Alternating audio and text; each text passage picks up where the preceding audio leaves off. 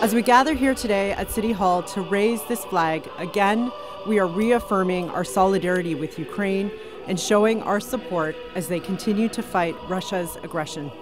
This illegal invasion on a sovereign and independent country is an affront to democracy everywhere, and we will stand with Ukraine for as long as it takes and until this war ends. It is so very important to have the flag raised here at Toronto City Council just to signal to both our our friends in Ukraine, but as well to the newcomers that are here in Ukraine that the City of Toronto stands in solidarity with them.